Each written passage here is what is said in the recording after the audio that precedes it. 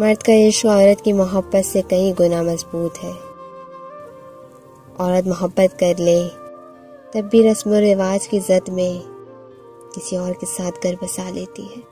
लेकिन मर्द अगर इश्क कर ले तो वो उस औरत को कभी किसी दूसरे मर्द के लिए नहीं छोड़ता, क्योंकि ये उसकी अना बर्दाश्त नहीं करती।